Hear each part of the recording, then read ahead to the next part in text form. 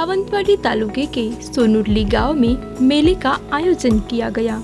देवी माउली के मेले को दक्षिण कोकण का पंडरपुर बोला जाता है। देवी के मेले में लोटांगन, ओटी भरना नवस पूरा करने का समारंभ होता है।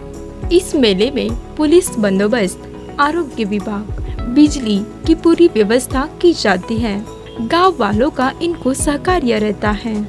इस मेले में गोवा, कर्नाटक महाराष्ट्र आदि राज्य से लोग दर्शन के लिए आते हैं। निकिता वरम्बे के साथ प्रवीण कौठनकर की रिपोर्ट।